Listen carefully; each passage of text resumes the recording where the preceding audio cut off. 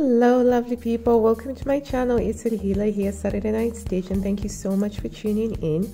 So today is the summer solstice, the longest day of the year in the Northern Hemisphere. And I went out to get some flowers to share with the browse through, but because it's the summer solstice, there's so much in the garden. And I thought that we should have something special to celebrate the fact that we're halfway through the year and that it is the longest day of the year in the northern hemisphere. So I just got a little posy and it's got my absolute favorite rose here. It's a beautiful pink and I've got some dianthus and some more dianthus and some wild geranium. And of course the daisies, the daisies are just righteously beautiful at the moment. And we've got some apple flower over here. So wherever you are in the world, I'm sending you this bouquet of um, summer flowers here from my little garden in England. Right, so we're just going to pop the flowers over there. Right, there's nothing quite like a fresh bouquet of flowers in the house. I absolutely love it. And we've got our Burda issue, the July issue. So even though we're celebrating the 21st of June, we're actually doing the July issue. I've got my line drawing. Heads up, I have already traced a pattern from here. Um, and I'll show you once we get to it. But um, I thought that this was a relatively decent issue. Some good styles, some repeats, and some outstanding ones. Um, so yeah, lovely cover, very summery, very bright, very inspiring, you know, with the hat and everything. And I love the vintage look um, on the cover here. So let's get into it. And for those of you that might be new, I subscribe to the Burda German issue, and I always get asked this a lot why I get the German issue, even though I'm not a native German speaker. But it's because I feel like the German issues have got better shelf appeal because I've got an extensive collection and I need to be able to easily see which issue I have. And these ones have got the binding that allows you to see that's got a spine. So it's the German issue, but it's the same patterns that you get in the English or the French issue. Right, let's have a look through this uh, lovely issue. So, uh, first off, um, the first pattern that we're offered is an easy uh, dress pattern and it's got a simple uh, v-neck over here and some shirring on the waist and a little bit of shirring on the sleeve here just to add a little bit of detail which when you think about it doesn't seem like a lot but it actually gives it, it adds a little extra something here. You know i think it takes it from sort of like just a plain normal ordinary dress into something that does create a little bit of an interest. And they've made it here in this really um, lovely ramie seersucker style looking fabric so very nice very relaxed feel to it. And i do quite like that and i do appreciate that it is a v neckline and if you've ever sewn with a v neckline you'll know that this can be really quite tricky to do without gaping. Unless you've got a seam here that makes things so much easier. And so that's a that's a really good um, design touch i thought. Okay and then over here we've got these sailor pants that you have to wear with these rope belts which i'm sure obviously you don't have to use that. That's just a stylistic thing but they've got like this wrap over style here and what's quite interesting i noted was that the front has got just a contoured waist but it doesn't have a waistband but it looks like the back has got a waistband so quite interesting in some hip yoke pockets. Um, I can see this being something that people would like, particularly in a linen, and this is the tall pattern. And then we've got some shorts, which are always a great summer staple. I'm making some shorts as well for my summer wardrobe. And these ones are very simple, lowered waist, contoured with a facing and some dots and a zipper on the side. I would say what, and, and these are obviously just ornamental, there aren't actually any pockets there. I would say that these shorts would be pretty awesome if they just had the hip yoke pockets um, over here. I don't know about you, but I think that summer garments, they really do benefit a lot from having uh, pockets. And then we've got this very simple, interesting dress style that really did catch my eye in the um, preview but then it lost my eye when I actually browsed through it. Uh, and that's mostly because of the high empire waistline. I just feel like that didn't uh, work out. Sorry, I have to, I accidentally double printed. So I'm going to have to hold it like that so that you're not seeing the shadow of the other line drawing. But it's got pockets and it's got buttons up the front. So for me, uh, once I actually saw the full details, I realized that my Avid Seamstress sundress basically caters for this style of dress um, for me. So, so that's why it ended up losing my eye. I'm just going to move these out of the way because they're taking away the focus. The camera is like this fabulous color over there, so it's not focusing on this. So we'll just put them over to the side here. okay, and then we've got a very simple oversized poncho style top, always good for the seaside, um, but it's added some little rickrack trim over here. So this will be super easy instant gratification sewing uh, project, which I'm, which I'm all about these days. And then we've got this uh, skirt with, it's like a faux sarong is the best way that I could think of it. It's like I want to wear a sarong, but I'm going to go through the extra steps of making myself a skirt, sewing it up, putting a zipper in, putting that in, and then putting a tie belt in as well. You, you, you could just get a piece of fabric that you like, you know, uh, finish the edges, sew them up, and you can tie it up as a sarong. So I wasn't too, I wasn't too keen on this particular style for that particular reason because you can easily achieve the same look. And then we've got a simple, super, super easy. This shouldn't just be easy, but it should be super easy top. Uh, so we've got sort of like a rounded, overly scallopy neckline here and super oversized sleeves. And as you can see here, this looks to me more like an overshirt. So make it in a sheer fabric for a coverall when you go to the beach. And then we've got a pattern of a capelet I liked to call it the bat wing sleeve top. Now I've actually made this uh, before because this pattern was in a, I think it was a 2015 or a 2016 issue. I'll, I'll put a picture over here of the one that I made, but I made it in the dress version. But when it was first released, you could make you could have it in a top and a dress version. And basically, it's got these little capelets over here, which in theory they're supposed to stay over your shoulder, but it just doesn't happen. So they actually sort of like just hang off of that and you have your shoulder sticking back. And the thing that I found with this one, basically, if you're interested in making this, it is a lovely uh, style because I ended up making two of them and I tend to wear them quite a lot, particularly if we have to go to the seaside and I tend to wear them um, over my swimming costume because it's easy to just take them off and take them down. But the problem that you have is that this fabric doesn't actually stay up like that. It's a drapey fabric, so it sort of tends to go down, and you can get some side boobage going um, on there. You, you, you can definitely get some side boob. So that's just the thing to watch out for. But it is a lovely, easy to wear um, style and it will let the fabric shine. So if you don't mind sewing, you know, um, the side, which shouldn't be a problem if you're wearing swimming costumes or your bikinis or whatever. But I find that this is very useful for that very um, specific thing. So I very rarely wear it um, outside of that, but whenever we go on a holiday to the seaside where there's lakes or there's water or whatever, I wear it a lot actually, so it's quite useful in that regard.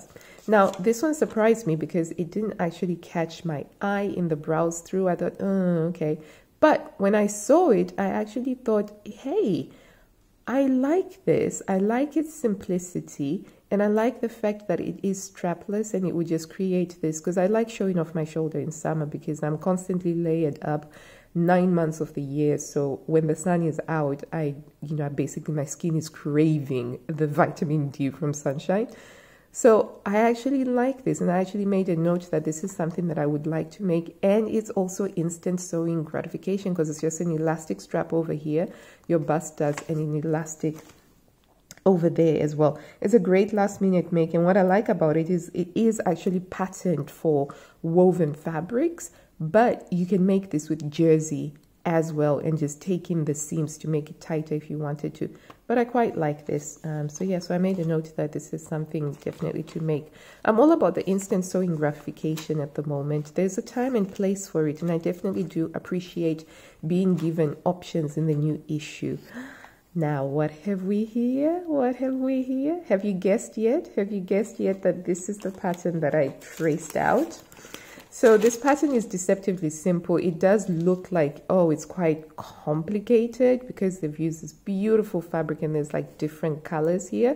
But it isn't actually, at the heart of it, it's just made up of mainly um, these pattern pieces. Sorry these ones are quite small. So these ones do not have any um, seam allowances on them. I just traced them out.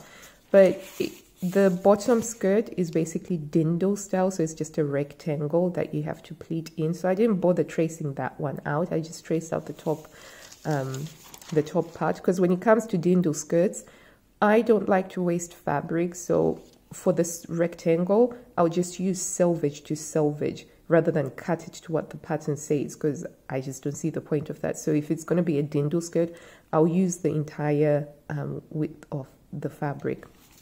So key things to note um, about uh, this, you have some really, as I was tracing it, so in case you're interested in making it, you know, um, but if not, you can just skip on ahead. Uh, particularly with the uh, band here, you need to make sure that you label which one is the top and which one is the bottom and same here. Make sure that you label the top and the bottom and find a way to make sure that you put that when you cut it out. Because you can very easily end up putting the top up like that. And then you'll be like why isn't it fitting? Burda has messed up the thingy. But it isn't. You need to know which one is the bottom um, thingy. So when you're tracing that out make a note of that because they're quite similar but not quite. As you can see this bottom is uh, this bottom is a bit shorter than the top. So I've traced mine out without any seam allowances. So the other thing as well to note is that the line drawing for this, if you look at it, right, you see there's no zipper down the back, the zipper is down the side. Personally, this is a personal preference for me, and let me know if you share the same preference as well. I prefer to step into my dresses. I don't know, there's just something so incredibly wonderfully feminine about stepping into the dress and then you zip it up. So I'm going to move the zipper on to the back rather than onto the side. That just makes life so much easier. So I've traced it out and I'm going to be putting the zipper on here, but this was supposed to have been cut on the fold. So I'm excited about this because I want to get this done before August and I'm going to be making it in a cotton poplin. I just have to select the one that I want. So this is the one that I really, really liked. And I'm going to also make a belt for it. What I might do is I might just shorten it slight, slightly so that it's just hitting that area, um, just that area just below the knees for me um, I tend to find that fun. But I, I, I really did like this one. I was just like, oh, so exciting. And it's really nice when you see something that you really, really like and you get so excited about and you just want to dive into it. Even though it's got yellow in it, I could still see how this would work for me within um, the colors that I love to wear. And then we've got a jacket that I'm pretty sure we have seen before, but it's got those clean minimalist lines because we don't have the lapel and then we've got the pocket. To me um, this is a nice version of the chanel the iconic chanel jacket but if you wanted a bit of shaping. So for me the chanel jacket is just a little bit too boxy for my liking but with this one you can kind of achieve that similar look but you've got the shaping in it. So nice one. Really nice. And even the fabric that they used was very similar and then we've got some more super easy, fast and easy to make patterns. We've got this simple boho style top, which I've made a similar item before from a previous Burda. And I used a different uh, contrast fabric for the little um, collar, for the flat collar, and for the placket over here.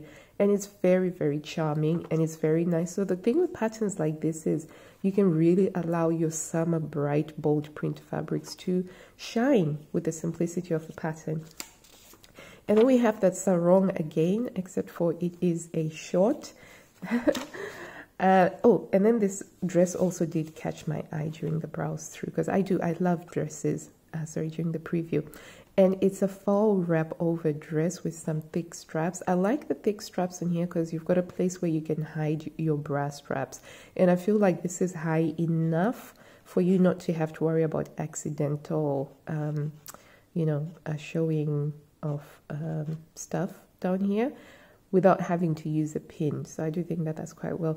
And it's also got a v-neck at the back as well in an A-line. So really quite nice, really quite flattering. I do have something similar already, so that's why I didn't feel the urge to jump in and make it. But I've pinned it for something to make for later on. And then we're going extra long with those simple patterns again. So I did find this quite interesting. I think Oh no, the line drawing here is a little bit wrong because this one's showing sleeve, but this one isn't showing a sleeve on there. But you get the idea. You've got this very simple top and it's got a slit over here and it's just a long kaftani, you know, let it breeze through. Sew this with your linen or your ramie, just something very, very comfortable. And then we've got a cami top. Cami tops are always such a useful thing for summer. This one's got some drapes, a little bit of drape, a slight cowl feature to it. And doesn't it look gorgeous in this liquid satiny silk that they have used over here? I think um, as part of your uh, repertoire, your smorgasbord of tried and tested patterns, you need to have a cami, particularly for summer. And we've got that dress again in an ombre fabric, um, the bandeau dress, so very simple, very easy to make. And we have a um, tutorial here for the jacket, and I appreciate this because this jacket is a little bit of an advanced pattern because it requires full lining and it does require some speed tailoring techniques. So it's quite useful for, you know, the seamstress who wants to adventure out into a little bit more of a complex um, pattern. And you've got the instructions there. And here's some ideas of using hand finishing touches just to add a little uh, touch of je ne sais quoi to your handmade garments. Now this top I can't make heads or tails of it. I don't like it. It doesn't make sense to me. Um, yeah so first of all I thought it was going to be a t-shirt but it isn't a t-shirt so it's quite baggy. And it's got a zipper at the back. Um, yeah, I have to see what other people make with this, but it definitely did not get me gaga. And we've got the perennially beautiful, classic, timeless wide leg trousers or palazzo pants, you know, really lovely, really swishy. Make them in a beautiful satiny um, fabric, and it will be great for lounging around the pool at the villa. And we've got that um, faux wrap dress again, but this time we've given it some handkerchief hems. Again, gorgeous. Can't fault this. I cannot wait to see what people are going to do with this particular style. I think that they're going to have a lot of fun with it. And there's that top again, the capelet sleeve top. And in the pictures, you can see that they're sort of pulling this little bit of fabric over here, but it doesn't stay. It doesn't stay there. It will just go down. Um, and even here, you can see kind of her hand is sort of keeping that in place there but that's just going to go down. And this works really well with very very drapey.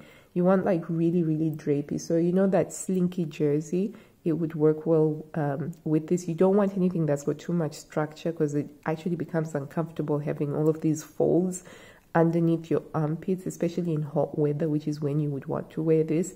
So I made it um, one of the ones that I made, I made in a in a ponte fabric, which was slightly thick, and I was making like a winter version, which was really quite silly. It didn't work out, but it was just really heavy and bulky underneath there. So don't make the same mistake that I did. If you're gonna make this, you want to use like a really lightweight drapey jersey fabric. Definitely not cotton jersey, not t-shirt in jersey. You want that really, really drapey, slinky one. It works well with this. And then we've got some more of the kaftans, the lovely kaftans. This time's got a little bit of a tie here. You know, you could make this in toweling fabric so that it can be kind of like a toweling um, thing. How gorgeous are these fabrics together, the yellow and the pink, and then you've got the beads. Fantastic. So we've got those shorts again. And again, I just feel like these shorts would be so much more useful with um, the pockets um, at the front. And then we've got this really stunning, stunning ruffles galore, like just so many ruffles. And when you see ruffles like this, you know immediately this is going to be a fabric hungry pattern because these ruffles they they they use up a lot of fabric. But lovely, um, lovely. Not my style though, because it's just got too much too much movement on here. I tend to prefer my ruffles um, in the bottom. See if we can get that to focus. And then we've got a variation on that jacket. So in this issue, For the master pattern, we've been given three different variations. So we've got the plain one where the sleeves go straight down, and then we've got the version where you've got like a, a slight fluted um, trumpet on there. And it's really lovely how you can use this jacket with um, a simple summer dress as a layer. So this gives you an idea of what sort of fabrics you could use this. You could use um, sort of like a medium to heavyweight linen as well and make this in a linen that be very bellissima actually. We've got some little accessories that you can make with some scraps. Lovely. I like the crafting sections and I also like the inclusion of this styling section as well to give you an idea of how to put things together. And then we've got the kids sections, just some really very simple um, dress patterns here. And again, when you're sewing for children over the summer, you're really looking for some very, very simple use shirring there to create a skirt. You know, you don't even really need a pattern for this. Just cut out two rectangles, sew them together, put the shirring on the edge, and there you've got that. So quite um all of these are very super super easy super easy pattern um, they're going up to 128 so the last size is the size that my girls would fit in and then onto the Burda plus uh, size we've got a really lovely black cocktail top is what I would probably call it. It just gives me cocktail hour vibe with some of that lace trimming over there. And it's an empire line very similar to what we've seen recently I think about two months ago sort of like this sort of empire line and then free falling thing and um, but this time it's got the flatter the flatter sleeves. So yeah. And then we've got um, a jacket here princess uh, seam lines very uh, close cropped at the neck here and then we've got like this lovely little gathering I think it's always good to have a jacket pattern just a simple jacket pattern to make and you know I feel like this one's got some good line details. Pockets are too small though. I can't see these pockets being useful. They're very ornamental. Oh, and then these were right up soft gamine lines for me. I really quite liked these when I saw them in um, the first look. And yeah, and it's because they're cuffed at the ankle and they're, they're cuffed at the uh, waist and they look like they're high waisted from what you can see on there and of course they're quite useful because they've got the hip yoke pockets and they've got the cargo pockets and I love how they've used this geometric print fabric to make the utility the utility trousers into something like city chic so really well done um, with that and then I thought that this was also really really quite gorgeous particularly with the curved empire look here. So I think I personally like it when the empire waist is a bit curved rather than when it's just straight. I don't know. I, I feel like it's a bit harsh because when I saw this, I thought, oh my days, this is quite lovely. But it's an empire waist, unlike the first empire waist that we saw, which was sort of like straight. And I love how they've used this blue fabric here and how they've used the contrasting fabric. So I can see this one being quite a popular one. So the overall vibe, oh yeah, of course, it's cocktail. This is why I was getting a cocktail vibe because it's sort of like in a cocktail bar here. And then we have a simple top with just some added juge on the sleeve here, the tie um, sleeves there. So lovely. And we've got that top again, but this time it's just been lengthened into, um, they, do they call it baby doll? You know, the the one with like a really short skirt and but anyway we've got these trousers again over here and again they've been given you know turned from utility to something that you could actually go out to cocktail hour with which is really quite lovely and we've added some straps here some some straps because you know your pockets are not complete unless you've got some straps to you know sort of like um, play around with right? Let's zoom back in Uh, and then we have um, what I think might possibly be the best of the plus size uh, patterns in this issue the shirt dress that just looks really lovely with the belt. And you don't necessarily have to make it with this particular belt, the self fabric belt. You can actually make it a more structured belt with the buckle. And I think that that would just add a lot of loveliness to it. And you've got the this tab. I love tabs combined with cuffs. So I think that there's something very nice and very simple. I actually have a very similar pattern cut out from a Knipmode magazine that's been in my UFO box, and it's sort of reminding me that I need to go find that, except for that one's got an elasticated waist.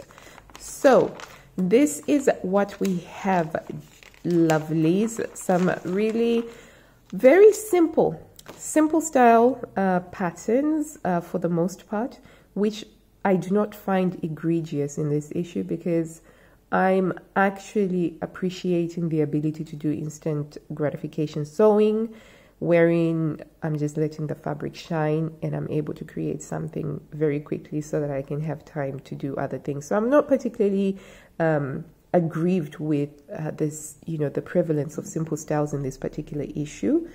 I'm eternally grateful that I've got uh, this dress here that I'm really excited to sew up and I have no doubt it's the sort of dress that you can modernize. I know that their version here is very, you know, it's got like this very strong vintage vibes because of the fabrics that they've used, but easily you can use like a sky blue, uh, you know, sky blue poplin with a dark navy um, on here, or just make it in white.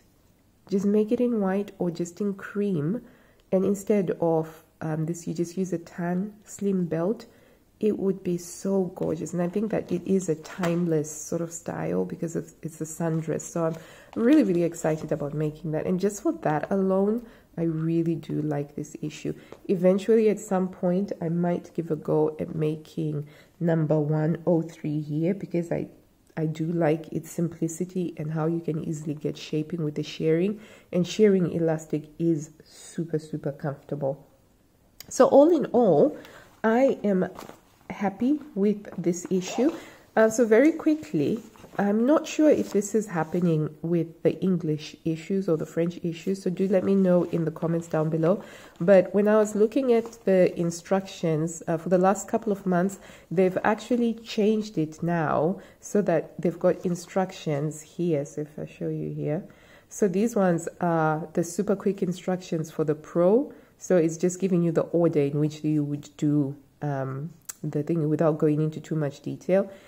And then here, they've now made it so that they've tried actually to make it a little bit easier for somebody who's new to sewing with Burda. So they've numbered them for starters and they're titling them, you know, sort of like if it's the armhole or it's the belt or it's the sleeve and what you need to do next, which I think is a very good improvement for the better to bring more people who might find these very scary into the fold of sewing with Burda because it truly is wonderful to be able to get all of these sewing patterns for um, the price of one normal big four pattern. You're getting all of that and you have this and you have it, you know, effectively until you get rid of it. So, you know, who knows, maybe in another 10, 15 years, I might be looking at actually making this. Maybe I'll change my mind and fall in love with Empire Waist and I'll be like, oh, I'm going to make that.